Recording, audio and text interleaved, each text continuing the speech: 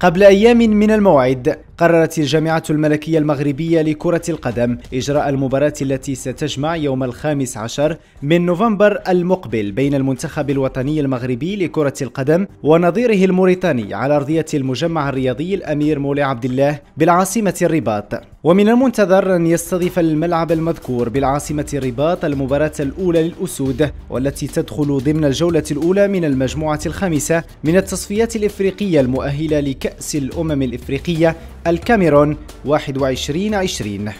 للإشارة فإن الجامعة الملكية المغربية لكرة القدم قد سبق أن نفت يوم أمس الأحد في اتصال خاص مع قناة شوف تيفي كل الأخبار التي راجت بأن المباراة المذكورة بين المنتخب الوطني المغربي ومنتخب المرابطين ستلعب على أرضية ملعب الشيخ الأغضف